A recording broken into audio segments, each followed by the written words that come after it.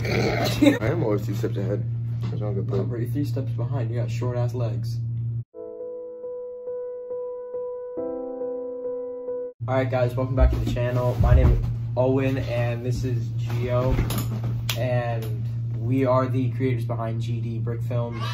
And we just wanted to like get give the, the mm, mm.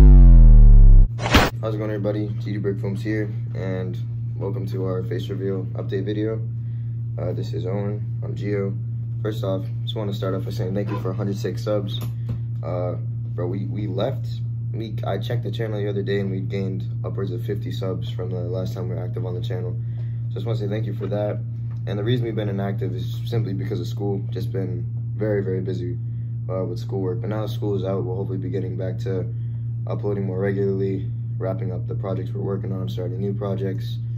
And uh, we're gonna be doing a stop motion contest video. Uh, more details on that in a minute.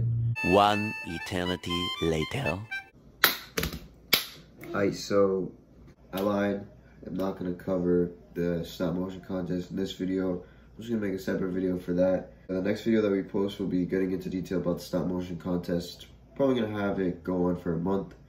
And uh, yeah, GD Brick Films uh, face reveal update video. Glad to be back. Thank you guys again for 100 subs. See y'all next one.